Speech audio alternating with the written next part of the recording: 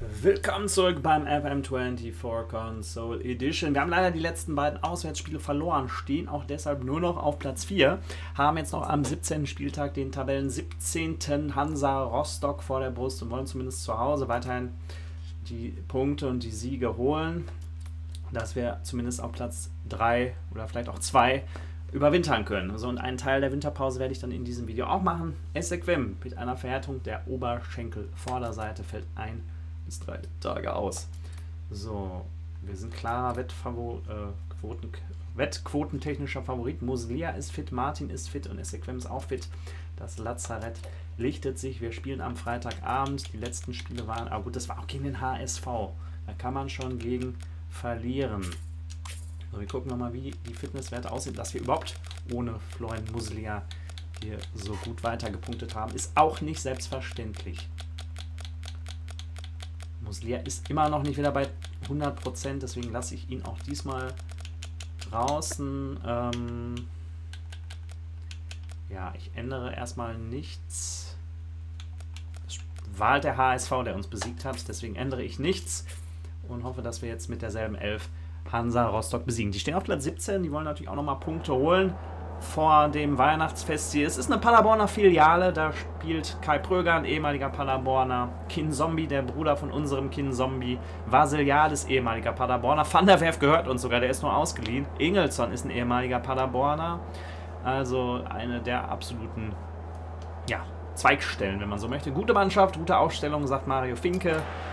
Und ich hoffe, das Stadion ist nochmal ausverkauft der 17. Spieltag. Was war das für eine Hinrunde? Natürlich ein bisschen kurios, wie das gegen Kiel gelaufen ist, aber ich habe es ja schon mehrmals erwähnt. Und jetzt wollen wir uns hier die Hinrunde nochmal veredeln mit einem Dreier gegen Hansa. Noch hier keine Szene, jetzt hier die erste Szene in der 10. Minute. Natsch mit dem Freistoß und Klefisch auf Conte und Conte das siebte Saisontor bereits. Und zählt der oder war das abseits? Ich denke, das muss geprüft werden, aber bisher halten unsere Tore den Überprüfungen ja meistens statt.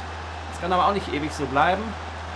Es wird vom VAR geprüft. Und das auch das Tor wird gegeben. Schon das siebte Saisontor von Conte. Manch einer, inklusive mir selbst, dachte der Mann, wäre eher Leichtathlet mit Fußballer-Ausbildung. Aber der hat auch fußballerisch, also mit fußballerischen Schwächen meine ich damit. Aber der hat, und ein Freistoß von Heuer war auch gewaltig. Ähm, meinte natürlich damit, dass er fußballerische Schwächen hat. Er zeigt uns das absolute Gegenteil. Siebtes Saisontor, Conte ist hier der Spieler der Hinrunde, muss man so sagen. Klefisch hier mit dem Assist. Brakelmann auch eine der Entdeckungen. Die junge Flügelzange da hinten mit Brakelmann und. Und jetzt Philipp Bilbia, der auch eine Suche auf Grimaldi, der auch natürlich, die spielen alle eine super Hinrunde. Und Grimaldi macht ihn rein und es wird wieder auf Abseits reklamiert. Und es muss nochmal vom Videoassistenten gecheckt werden. Grimaldi das Tor wird auch gegeben. Ja, es werden alle Tore gegeben. Ist das normal, dass die immer gegeben werden? Oder wir sind einfach eine korrekte Mannschaft. Bilbia auch wieder mit einer Torbeteiligung. Grimaldi per Kopf. 2 zu 0. Wir stehen auf Platz 2 der Blitztabelle. Klar, die anderen können noch nachlegen. Auch Bilbia, einer der Schlüsselspieler dieser Hinrunde. 7 zu 1 das Chancenverhältnis. Rostock fällt auf 18. Die spielen hier kaum noch mit. Oder generell hier kaum mit. Kai Klefisch auch mit einer guten Hinrunde. Stammkraft im Zentrum. Janis Heuer auf Müller, der hier wieder die Binde trägt. Kevin Zombie hier muss seinen Bruder ärgern, aber und Klefisch, Klefisch geht in der Ecke dazwischen und passt auf Bill und der haut ihn auch rein, auch schon das sechste Saison. Wir haben so viele verschiedene Waffen, schon mehrere Spieler, die mehr als fünf Tore geschossen haben. Klefisch, der Vater des Erfolgs Liga 3-0, schon in der ersten Halbzeit. Rostock wird zerlegt. Klefisch mit zwei Torvorlagen. Böbia mit zwei Torbeteiligungen auch. Und jetzt nochmal ein Freistoß. Janis Heuer. Der hat einen Bums. Der knallt die Bälle ordentlich drauf. Der versucht es. Ja, der war auch technisch nicht schlecht. Und Kolke, die Krake, kann zupacken. Es gibt nochmal drei Minuten oben drauf. Eckball, Niklas Natsch. Auch zum Stammspieler gereift ist hier. Und Grimaldi, ja, Kolke sauber ab. Drei Minuten Nachspielzeit. Es gab drei gelbe Karten. Hüsing, Dressel und Bachmann bei Hansa Rostock. Wir führen 3-0 zur Halbzeit. Das ist überragend, was wir hier zeigen. Ich bin begeistert. Das waren großartige 45 Minuten. Ihr habt sie an die Wand gespielt. Das wollen wir dann auch nicht aus der Hand geben. So, eine wirkliche Veredelung dieser großen Hinrunde. Brakelmann. Wird das der dritte Aufstieg des SC Paderborn? Ah, Pröger, ehemaliger Paderborner, ist bewusst hier weggegangen, weil er nicht genug Spielpraxis bekam. Schickt jetzt hier Schumacher. Der allerdings, ja, Kim Zombie. So, Pereira. Und das ist eine gute Kombination hier. Christian Kin Zombie und Klefisch. Aber der Ball geht zurück zu Hansa Rostock. Wenn die jetzt das 3-1 schießen, dann ist noch genug Zeit. Wir haben auch schon mal häufig Gegentore kassiert, aber wir sind auch hier gut im, im Grimaldi auf Natsch. Das ist sowieso auch ein Dream Team Arsch. Ein Fehlpass hier nach dem anderen auf beiden Seiten. Schumacher. Auf Rosbach. Rosbach oder Schumacher. Zombie.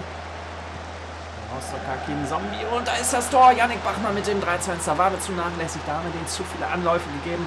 Und irgendwann treffen sie dann auch. Das war nicht gut gemacht. Und jetzt müssen wir vielleicht doch nochmal zittern, wenn die Rostocker jetzt Rückenwind bekommen. Das kann uns nicht schmecken. Und das ist ja völlig ohne Gegenwehr über die Bühne gehen würde. Das war auch nicht zu erwarten. Ich wechsle da nochmal, um dem etwas entgegenzuwirken. Äh bringe Hansen für Kim Zombie. Und Max Kruse kommt für Natsch. Kruse spielt dann. Nein, von dem Stil her lassen wir es mal so. so. Knapp 50-50 Ballbesitz. Aber gut, es vergehen weitere Minuten, ohne dass Rostock nochmal das 3 2 macht. Conte wirkt erschöpft. Dann kommt jetzt der nächste Doppelwechsel. Robert Leipatz kommt für Silot Conte. Und Raphael Obermeier kommt für Calvin Brackelmann. Jetzt habe ich bei Obermeier nicht die Rolle geändert. Das mache ich dann doch mal noch.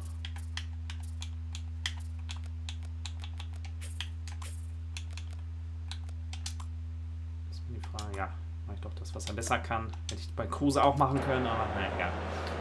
So viele gelbe Karten bei den Gästen, die jetzt hier nicht mehr wirklich rankommen. Aber jetzt hier nochmal eine Szene. Wenn die jetzt nochmal den Anschlusstreffer erzielen, dann wird es nochmal heiß. Können wir das Spiel vielleicht entscheiden jetzt? Ja, schon wieder ein Fehlpass. David geht dazwischen. Aber auch Obermain geht dazwischen. Will Bier. Auch in der Diskussion. Und das ist ein klares Foul. Und der Mann hat schon gelb. Und es gibt gelb-rot für Yannick Bachmann, der eben getroffen hat. Jetzt geht er vom Platz. Dann können wir nochmal ein zehntes Mal, äh, zehntes, ein fünftes Mal wechseln. Ähm, dann bringe ich mal noch Gelson Dala für Adriano Grimaldi. Dala, der auch nicht, ja, aufgrund von Verletzungen nicht ganz die Spielpraxis bekommen hat, die er vielleicht auch verdient hätte, aber im Winning-Team müssen sich alle hinten anstellen im Zweifel. Frühzeitige Dusche für Yannick Bachmann. Jetzt nochmal ein Freistoß, gute Position. Max Kruse wird das versuchen, der Mann der ruhenden Bälle. Und der war nicht schlecht, aber auch nicht gut genug. Also die letzten 10 Minuten laufen. Aufgrund der vielen Verwarnungen bei Rostock wird es da bestimmt noch ein paar Minuten oben drauf geben. Jetzt ein Eckball. Obermeier auf. Oh ja, und der war gefährlich. Riesenchance. Das wäre das 3 zu 1. Es gibt 5 Minuten oben drauf, aber wir führen immer noch mit zwei Treffern. Das dürfte für Rostock nicht mehr möglich sein, hier zurückzukommen. Und das ist dann auch der Sieg und wir gewinnen nochmal am 17. Spieltag. Legen vor, Düsseldorf muss nachlegen. Der Mann des Spiels, wahrscheinlich Kai Klefisch. Ja, der spielte wirklich eine starke, starke Hinrunde. Ich bin erfreut, super Ergebnis, super Auftritt. Die zweite Hälfte war ein bisschen schwächer, aber wir haben ihn ganz überzeugend gewonnen gegen den Tabellen 18. jetzt. Herr Pereira, zwei hier. Pereira, Matsuano und Nishan Pereira sind beide stolz oder der eine sagt anständiges Ergebnis, anständiges Spiel. Hossa. Erster Mexikaner. Schalke wird von uns. Ah, so. Leute, es fliegt mir schon alles runter. So. Schalke mit einem 0-0 gegen Reuter führt. Schalke wurde damit von uns überholt. Wir haben beide 32 Punkte. Düsseldorf kann uns noch überholen. Wir stehen zumindest auf Platz 3 am Ende der Hinrunde. Ausverkauft war das Stadion nicht ganz. 14.176 Zuschauer.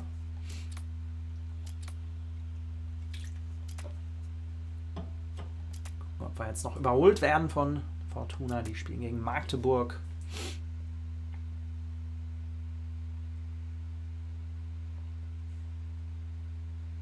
Nö, Düsseldorf spielt 1-1 gegen Magdeburg. Damit überwintern wir auf dem Aufstiegsplatz, auf einem direkten Aufstiegsplatz, auf Platz 2. Hertha spielt 0-0 gegen Osnabrück. Der HSV, die marschieren vorne weg, die haben 10 Punkte mehr als wir. Die gewinnen 2-1 gegen Nürnberg. Braunschweig 0-0 gegen Kaiserslautern. Kiel gewinnt 3-2 gegen Hannover. Und Elversberg gewinnt 1-0 in Karlsruhe.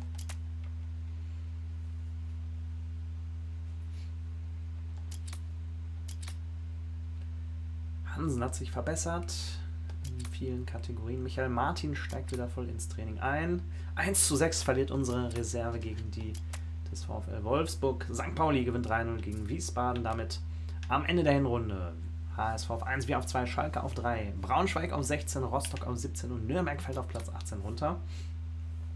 Schuster möchte in der Stammformation stehen. Er sei verärgert. Der Mittelfeldspieler soll verärgert sein. Eine Ausleihe wäre im beiderseitigen Interesse. Ich werde nach einem Verein für Sie Ausschau halten. Ja, dann sage ich das auch mal. Wäre okay. Muss ich ihn jetzt hier irgendwie auf die Leihliste setzen oder passiert das von selber? So, in 32 Tagen geht es gegen Reuter Fürth weiter. Jetzt geht das Speichern auch schneller.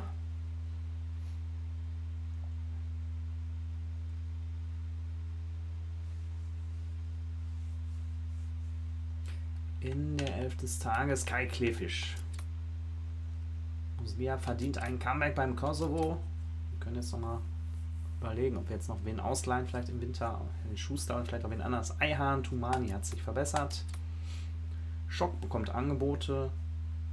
Ich denke, den können wir doch in der Regionalliga spielen lassen. Regionalliga müsste für ihn groß, für die ganzen jungen Leute groß genug sein. Da müssten sie doch auch zum Einsatz kommen. Angebote für Mrosek. Was ist denn die PKO BP Extraklasse von Ruch, Polen? Welche Liga in Polen?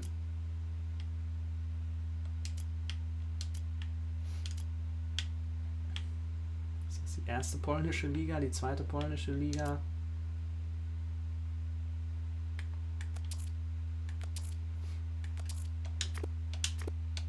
Kann mir keiner verraten. Ich gehe einfach mal weiter. So, Gelsendaler mit einer Erkältung fällt er ein bis drei Tage aus. Lass ihn mal behandeln. Kann sich hier auskurieren. So, das Speichern geht auch jetzt schneller, komischerweise. So, das Transferfenster öffnet. Hassan Mohammed wurde für den Asia Asian Cup nominiert. Zendala könnte mittels Ausstiegsklausel uns verlassen. Ist er sauer oder was? Wir sollten halten, weil Conte, wir sollten Conte halten, da er eine ähnliche Klausel im Vertrag hat. Ablösesumme ist etwas höher als der geschätzte Marktwert. Okay. Musiala spricht über so Spielerverträge laufen aus. Bei Kruse weiß ich nicht, ob wir verlängern sollten. Hut hat gar kein Interesse an einem neuen Vertrag. Ben Klefisch, der Bruder von Kai Klefisch, dem sollte ich auch schon mal einen neuen Vertrag anbieten. Herr Amapol, ich weiß jetzt nicht, was der Klefisch in der zweiten Mannschaft so macht, aber ich möchte ihn einfach mal halten. So, für drei Jahre. Ich biete das einfach mal. Ich habe das gar nicht so genau durchgelesen. Passt schon. Robert Leipatz, dem sollten wir einen neuen Vertrag anbieten. Sven Haas ist der Berater. Jetzt habe ich Stammspieler ihm versprochen. Das können wir ihm eigentlich nicht bieten. Und das Gehalt können wir ihm auch nicht bieten. Müssen wir ein bisschen weniger bieten. Kann ich das Versprechen nicht nochmal zurücknehmen? Äh, jetzt habe ich ihm Stammspieler versprochen. Das geht eigentlich schlecht.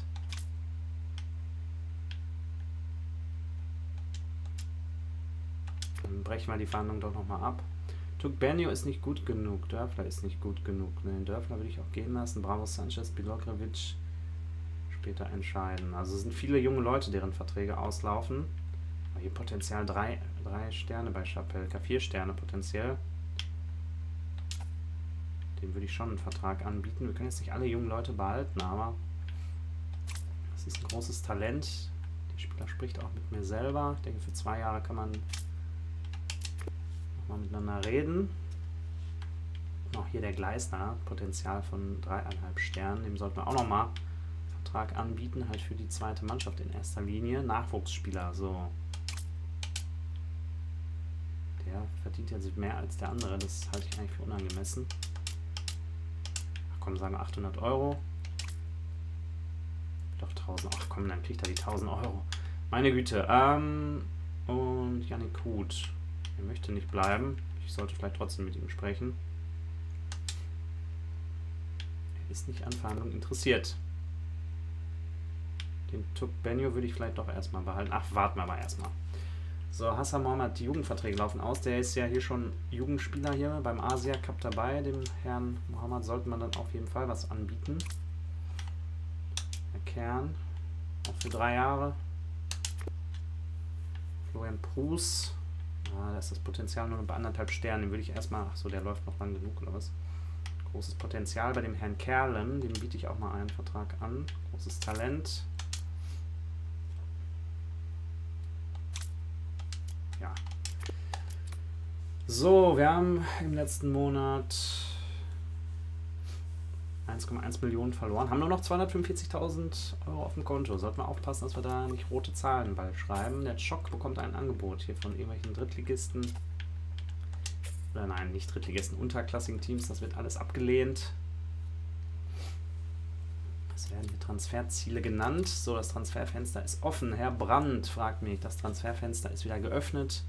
Und sogleich gibt es neue Spekulationen über ihre Pläne. Wird es in den nächsten Wochen irgendwelche Transfers geben? Ich plane eigentlich nicht, aber wir gucken mal. Vielleicht ein paar Abgaben, ein paar Spiele abgeben, ein paar Ausleihen vielleicht. Ich werde mich nicht über Transfergerüchte äußern. So.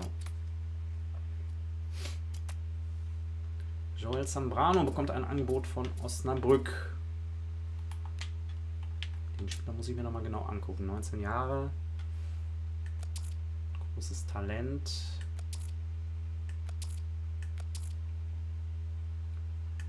Entwicklung. Potenzial sind aber nur zweieinhalb Sterne. Ich denke, das, das reicht nicht.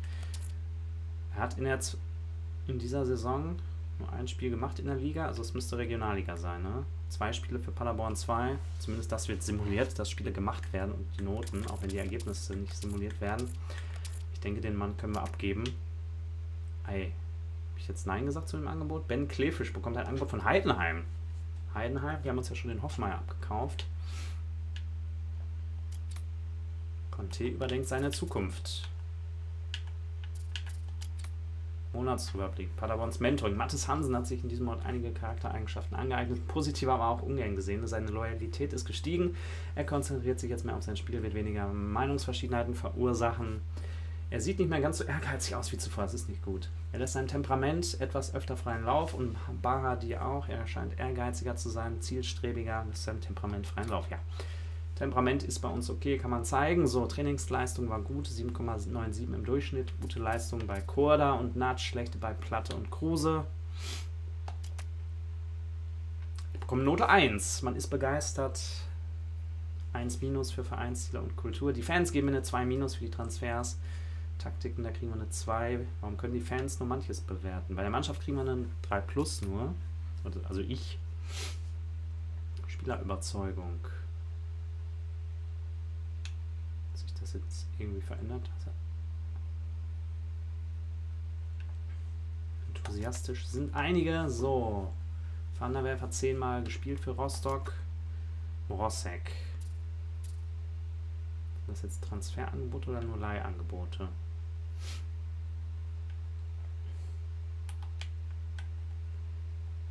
Morosek ist 19 Jahre. Potenzial Zweieinhalb Sterne. Wir können jetzt nicht alle Leute behalten. Sind das jetzt 3000 Euro für den Spieler oder was? Transferwert 18.000 Euro. Ach komm, nein, ich will den erstmal noch behalten. Die anderen lasse ich auch jetzt gehen, aber Pululu, Angebote, Vertragsende. Presley Pululu, der könnte ja mit Gelsen-Dala zusammenspielen, beide aus Angola großes Talent. Da ist das Potenzial für drei Sterne da. Schon 19 Mal gespielt für unsere zweite Mannschaft.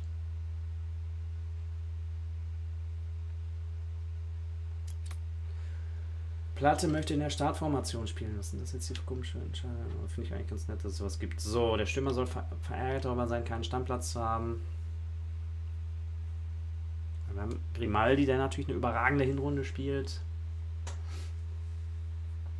bin bereit, sie zu verleihen, damit sie die gewünschten Einsatzzeiten bekommen. Von mir aus Muss ich ihn jetzt auf die Leihliste setzen oder wie immer die Frage? Passiert das von selber? So, es wird gespeichert. Doch das geht irgendwie schneller jetzt. Musiala mit einem neuen Vierjahresvertrag. Kurda zeigt erfreuliche Fortschritte. Potenzielle Fähigkeit 4 Sterne.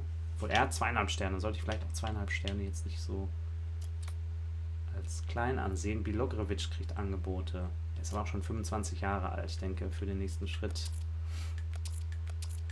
ist es da schon ein bisschen zu spät. Zweieinhalb Sterne. Scouting-Meeting. Sollen wir jetzt noch andere Leute holen? Hobby Mainu von Manchester United. Ich glaube, bei Manchester United sollte man jetzt nicht unbedingt. Wir haben genug Leute, wir brauchen keine neuen. Schapelka setzt Unterschrift unter neuen Einjahresvertrag. Augustus steht vor Verpflichtung von Pululu.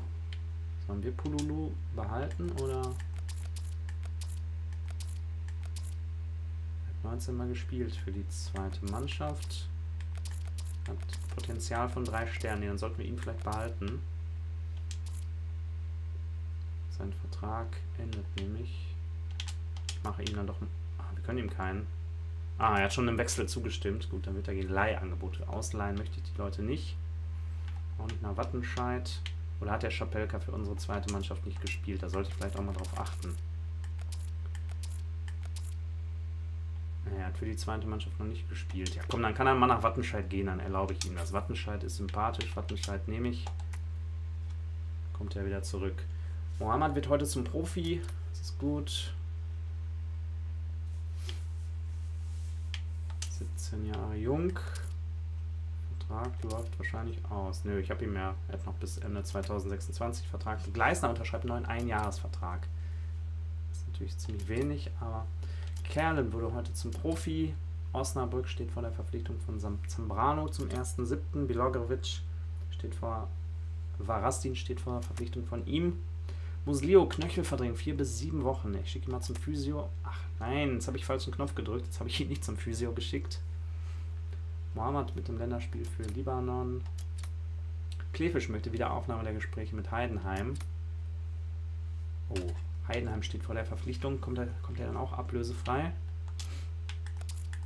Kann ich ihm nochmal einen Vertrag anbieten? Nee. Ah, da wird der Ben Klefisch doch gehen. Das wird den Kai Klefisch nicht freuen. Ich sollte jetzt ein bisschen energischer hier vorgehen bei den Verträgen. Die Leute nicht alle gehen lassen. Simon Zanev mit einem Ermüdungsbruch in der Lendenwirbelsäule. Das ist nach einem Sturz eine schwere Verletzung. Fällt bis zu acht Wochen aus. So, Scouting-Bericht über den Partnerverein Paderborn 2.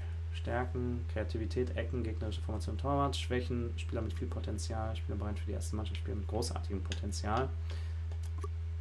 Schabelka hat keine Probleme, was? Ich habe doch Wattenscheid schon zugesagt. Auch Halberstadt, meine Güte, dann, dann leiht ihn aus.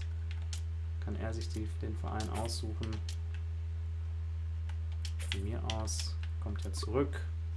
Hassan Mohammed kriegt Leihangebote. Premier League. Ist das erste Liga? Also Ahead? Wer ist denn Ahead? Ist das wirklich Premier League? Achso, Premier League in einem anderen Land. Premier League im Libanon. Wenn er in seiner Heimat spielen möchte, kann er es tun. Ich stimme da mal zu. Ich stimme aber auch den anderen hier zu. Ja, komm. Auch wenn es jetzt untere Ligen sind, soll er sich das aussuchen. Dann lasse ich ihn mal auf Leihbasis gehen. So, ich sollte jetzt nochmal gucken, dass ich nicht alle Leute hier gehen lasse, die auslaufende Verträge haben. Machen wir nochmal mit dem Länderspiel. Stamm bekommt ein Angebot von Kiel. Hat er einen auslaufenden Vertrag? Ja, hat er. Für Potenzial. Oh, er hat bis zu vier Sterne Potenzial. Dem sollte ich ein Angebot machen.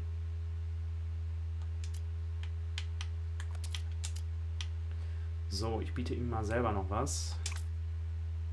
Großes Talent. Warum haben die ja immer nur Einjahresverträge eben rausgemacht? So, naja. Wahrscheinlich, weil es jetzt schon Januar ist. So, äh, Schapelka geht auf Leihbasis nach Wacker Nordhausen. Ja, gucken wir mal. Von mir aus, er kommt ja wieder. Wann kommt er wieder? Am Ende der Saison oder was? Steht hier gar nicht. Er möchte nicht nach Wattenscheid, so, dann kann er auf Leihbasis dahin gehen. Mohammed geht auf Leihbasis nach Halberstadt bis zum Ende der Saison. Von mir aus, wenn es ihm gut tut. So. Ich wollte es eigentlich lange nicht, die in so niedrige Ligen ausleihen, aber mal schauen. Schabelka ist zufrieden mit dem Leihgeschäft. Mohammed auch. Hier sind wir eigentlich schon. Ach, hätte, hätte ich nicht ein Testspiel ansetzen müssen. Stamm bindet sich an Paderborn, ist auch gut. Nordhausen hat wegen einer Laie von Stamm angefragt. Ja, komm, von mir aus. Ist die Rückrunde dann schon rum? Jo, wir haben gar kein Testspiel gemacht. Aber dann ist es halt so. Mohammed, Länderspiel nochmal gemacht. Der kriegt da auch viel Spielpraxis. Dala hat auch ein Länderspiel bestritten für 19 Minuten. Kerlen hat sich verbessert und Stamm geht auf Leibas, auch nach Nordhausen von mir aus. Dann tut dies. Ansonsten ist die Rückrunde jetzt schon anstehend wieder. Beim nächsten Mal spielen wir dann gegen Kräuter Fürth. Und gegen wen war das zweite Spiel? Gegen Düsseldorf, glaube ich. Ne? So, das ging ja schnell. Testspieler hätte ich machen sollen. Ich habe es nicht getan. Wir gucken nochmal kurz in die Bundesliga. Generell, ob es auch noch andere Transfers gab, das können wir nächstes Mal gucken. Bundesliga-Ergebnisse.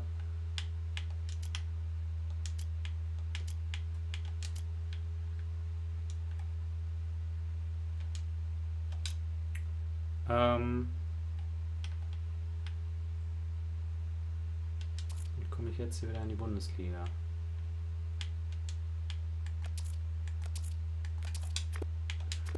Ah, es ist immer so ein bisschen fummelig.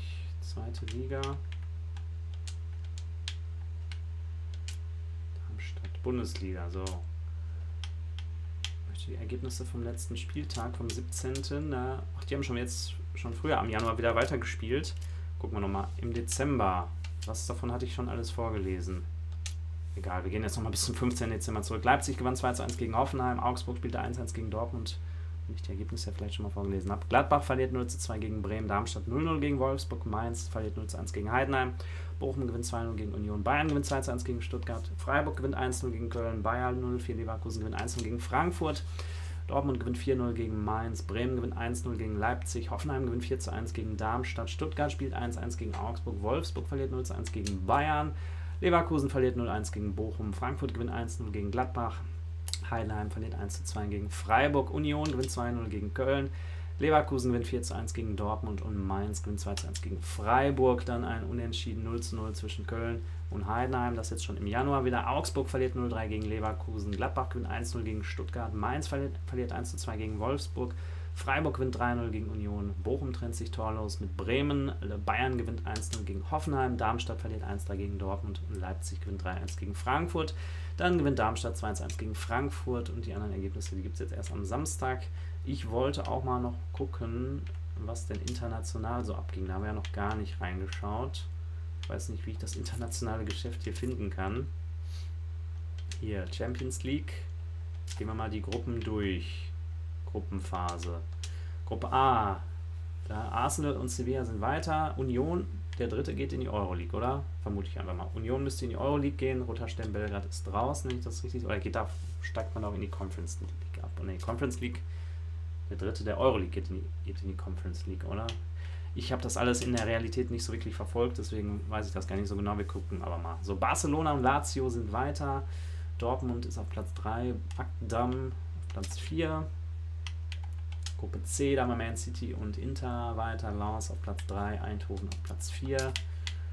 In Gruppe D, da haben wir oben Feyenoord und RB Leipzig, auf Platz 3 Celtic und auf 4 San Sebastian. Gruppe E, äh, Bayern auf 2, Man United auf 1, Ferenc Varus auf 3, RB Salzburg auf Platz 4.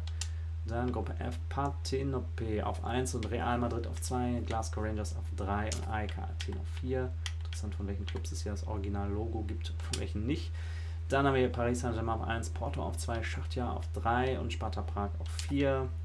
Und Gruppe H, Newcastle auf 1, Benfica auf 2, Atletico Madrid auf 3 und AC Milan auf 4. So, im Achtelfinale Benfica gegen Barcelona, Real Madrid gegen Paris Saint-Germain, Sevilla gegen Partenope. Ist das Neapel oder wer ist das? Ich glaube schon, ne? Ähm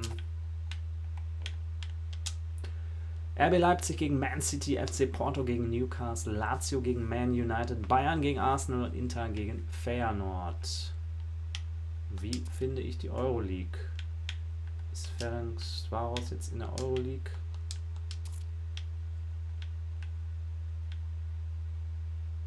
Ach so, ja genau, da gibt es jetzt so eine Zwischenrunde. Ne? Europa League. Gucken wir uns auch mal die Gruppenphase an. Gruppe A. Dann kriege ich hier keine Tabelle der Top 1. Hä? Gruppenphase. Gruppe A. Warum zeigt ihr mir Gruppe A nicht? Warum zeigen sie mir hier irgendeinen so Topf? Zwischenrunde. Ich will nicht irgendeinen Topf angezeigt bekommen. Ich möchte die Ergebnisse. So. Gruppe A, Freiburg auf 1, Ajax auf 2, Marseille auf 3, Panathinaikos auf 4. Steigt da der dritte in die Conference League ab? Ist das so? Glaube schon, oder? Gruppe B, Liverpool auf 1, Kopenhagen auf 2, Union SG auf 3, Bacca Topola auf 4, AS Rom und BRG Braga ist das, glaube ich, noch weiter. Sawyer auf 3, Lugano auf 4. Äh, gut, dann mache ich das Video jetzt noch ein bisschen länger. Können wir auch nochmal auf die Transfers gleich schauen. Gruppe D, Sporting auf 1, Astana auf 2, Real Hispalis auf 3, Toulouse auf 4, Gruppe E, Atalanta auf 1, Rennes auf 2, Galatasaray auf 3 und Shamrock Rovers auf äh, Platz 4. Gruppe F, West Ham, Villarreal, Ludogorets und Olympia. Gruppe G, Brighton auf 1, Leverkusen auf 2, Young Boys auf 3, Sturm Graz auf 4, Gruppe H, Olympiakos auf 1, Dnipro 1 auf 2, Dynamo auf 3, Antwerpen auf 4 in dieser ominösen Zwischenrunde. Spielen Schachtja gegen Braga, Dortmund gegen Villarreal, Union gegen Rennes, Celtic gegen Kopenhagen, Rangers gegen Dnipro, Fering Varos gegen Astana, Lens gegen äh, Ajax und Atletico Madrid gegen Bayern 04 Leverkusen. Leverkusen war doch auf Platz 2 hier in der Gruppenphase, oder? Warum müssen die dann in die Zwischenrunde? Im Achtelfinale müssen alle in die Zwischenrunde? Keine Ahnung, offenbar. Ähm,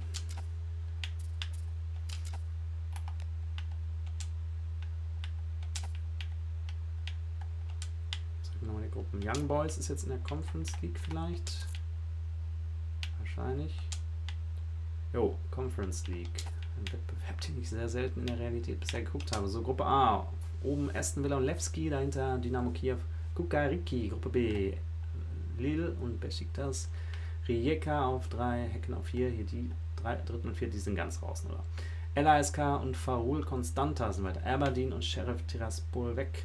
Fenerbahce und Srinski weiter, Genk und Rakow weg, Molde und FC Basel weiter, ZSK Sofia und Tiflis weg, Austria Wien und Maccabi Haifa weiter, Klusch und Nordirland draußen, Rapid und Adana weiter, Slavia Prag und Aris draußen, Club Brügge und Twente weiter, Bratislava und Breidablik weg. Ist hier kein deutscher Club in der, in der Conference League? Ist das normal? Müsste da nicht eigentlich mindestens einer dabei sein? Äh, in der Zwischenrunde sehen wir jetzt Galatasaray gegen Twente, Sawyer gegen Levski, Ludogorets gegen Adana, Union gegen Basel, Olympique Marseille gegen Besiktas, Young Boys gegen Haifa, Dynamo gegen Srinski und Hispalis gegen Farul Constanta. Wahrscheinlich hatte der Deutsch, die deutschen Clubs dann die Quali nicht geschafft. So, ich gucke mal einmal uns an. Wir gucken uns mal an, ob es Transfers gab.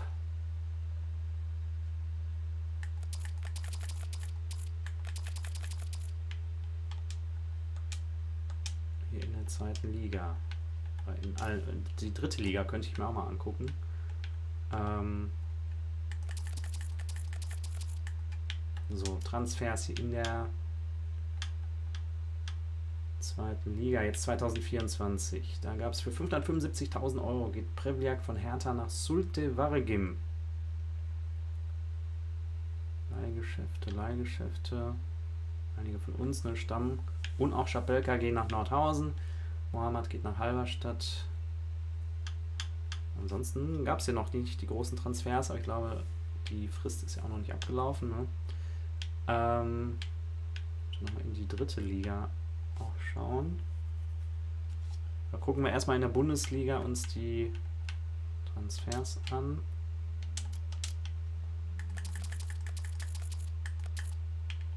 In der Bundesliga gab es ja Transfers 2024. Clark geht ablösefrei nach Minnesota. Für 1,3 Millionen Cardona von Augsburg nach Metz. Für 3,8 Millionen Bebu von Hoffenheim nach Alkmaar. Becker für 4,3 Millionen von Union nach Retafe. Bayern und Hoffenheim leihen auch Spieler aus. Weitere Leihgeschäfte für 7,25 Millionen. Torres von Orlando nach Leipzig. Ja.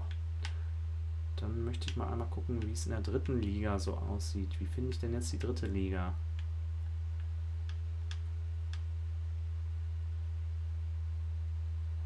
Ähm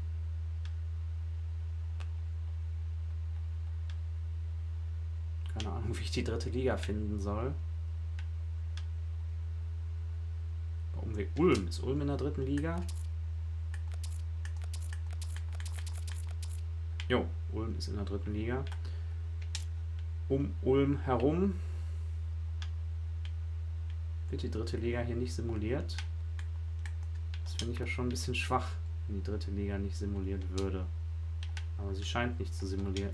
Sie scheint nicht simuliert, simuliert zu werden. Was ich schon etwas schwach finde. Aber gut, dann ist das halt so. Dann können wir vielleicht noch mal ein bisschen bei uns im Verein schauen. Also Top-Torschütze mit 7 Toren, Conte, bester Notenschnitt 7,26. Auch Conte die meisten Vorlagen, Grimaldi, das hätte man nicht gedacht, 6 Vorlagen. Grimaldi am häufigsten Spieler des Spiels dreimal, die meisten gelben Karten bei Muslio und Kin Zombie, jeweils drei gelbe Karten. Zusammenfassend glaubt der Vorstand, dass sie einen unglaublichen Job machen und sie zweifellos der richtige Trainer für diesen Verein sind. Wie lange habe ich denn hier eigentlich Vertrag? Bis Ende 2025. Okay, das reicht noch.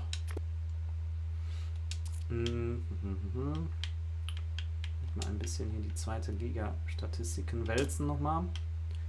Die meisten Tore. Glatzl hat schon 15 Mal getroffen. Vermey und Terodde jeweils 11 Mal. Bester Notenschnitt als Tunali. Dahinter Glatzl und auch Vermey.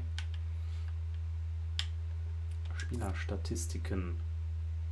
Conte taucht hier allerdings auch auf mit 7 Toren. Top-Top-Vorlagen. Grimaldi punktgleich mit Dompe und Brunner jeweils 6 Assists. Glatzel am häufigsten Spieler des Spiels, die meisten roten Karten. Ja, da gab es einige, die hatten jeweils eine. Notenschnitt, da ist auch Conte oben ganz gut dabei. Bei den Teamstatistiken, wir, haben, wir sind in der Formtabelle auch oben dabei. Die meisten Siege in Serie Hamburg hat zehnmal in Folge gewonnen. Zuschauerschnitt, da sind wir nicht in der Top 10.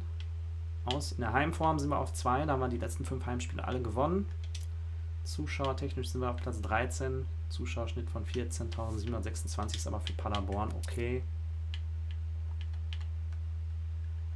Auszeichnungsträger. So in den Vorjahren, ne? So. Wir können nochmal intern vielleicht ein paar Statistiken prüfen.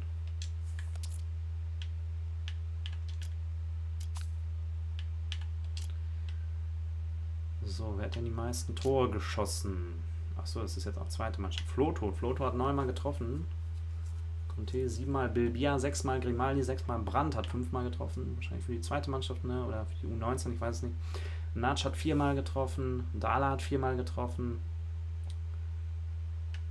Äh, genau. Vorlagen, die meisten Vorlagen. Grimaldi 6, Stabenau 5, Dörfler 4, Conte 4, Schock 3, Klefisch 3, Bilbia 3, ja, den Floto können wir vielleicht auch in der ersten Mannschaft ausprobieren.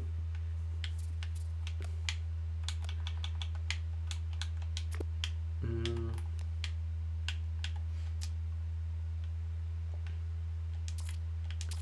Phasen, was meinen die hier mit Phasen? Guck mal in die. Haben wir nicht eine reine Heimtabelle oder so? Saisonverlauf. Bei uns naja, egal. Ich denke, das reicht jetzt erstmal. Beim nächsten Mal geht es in die Rückrunde und ich sehe euch dann. Lasst gerne ein Abo oder dergleichen da. Macht's gut. Tschüss, bis dann. Bye, bye. Speichern muss ich noch.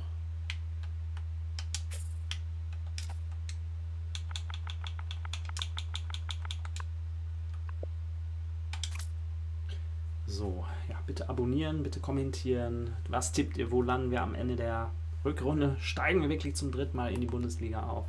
Oder nicht? Macht's gut. Tschüss, bis dann.